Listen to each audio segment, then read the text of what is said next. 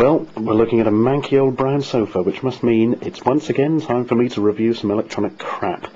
Today we've got the Gamestation, which, as you can see, is a quite eye-pleasing rip-off of the original PlayStation 1 design, complete with little controller.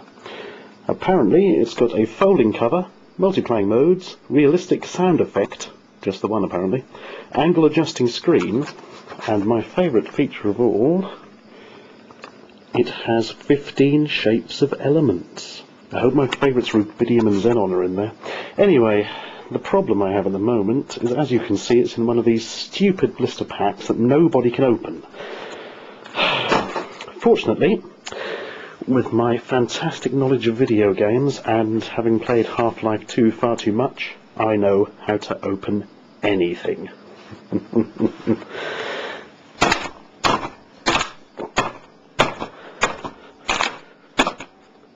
Oh. God's sake, doesn't anything from video games work in real life? oh well, I'll just have to try the Doom method, I suppose.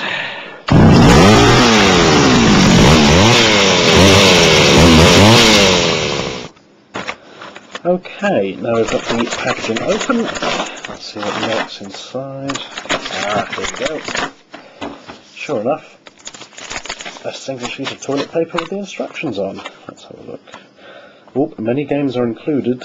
We have Tank Fight, Car Racing, Bite the Dust, which apparently is actually Snake, Space Invaders, Frogalog, mm, Hammer Hit, Block Shooting, Block Match, Super Brick Game. That's the Tetris one, I reckon. Notice how a lot of the games have block in the title, which doesn't bode well for the graphics. Right, here's the unit. Ah. And the controller's even on a really long wire, so you can use it to hang yourself or something.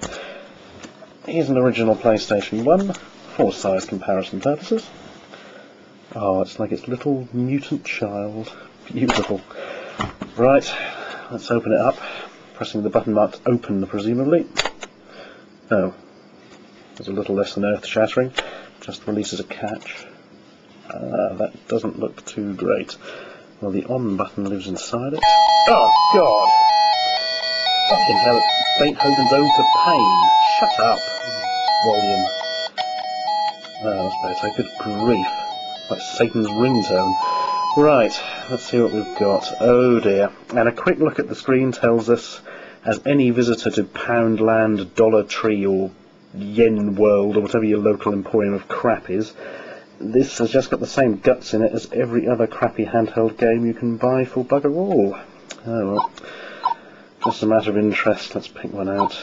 What's this? I don't know what the hell's supposed to be going on there, that'll do nicely. Start. Uh, yeah. Oh Christ, right, what's happening? Uh, ah, this must be Frogolog. Right, do you go on the blank bits? Yes, and don't get hit by the dark bits. Well, oh, I've exploded. Frogs are always doing that. Well, I'm pretty much sick of that already.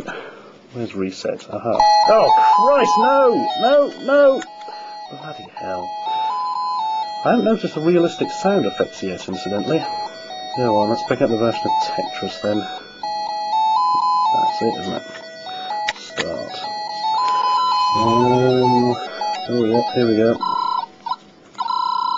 Let's hope this is one of decent versions of Tetris and not one of those ones with funny shaped blocks. And that sort of little flashing block that goes to other blocks but only half the time. Yeah, that's Tetris. Well, I think we can successfully say goodbye to that. Marvellous. Well, overall, I give it 7 out of 10, which is the least you can give a game before the company pulls their advertising. Look out, Dr. Ashen's doing his thing to camera again. Now, I just have to tell you this anecdote, which I absolutely swear is true. When I went in and bought this piece of shite, the mad old crone behind the counter said to me, just after I paid for it, so it wasn't some sort of weird salesman talk, she said to me, my son got one of these for Christmas, and do you know what? He's played on it more than his Xbox. That's right, apparently her son had played on this piece of shit more than his Xbox. Well, I think from that we can assume that his son has only got two games for his Xbox, and they're both Fight Club.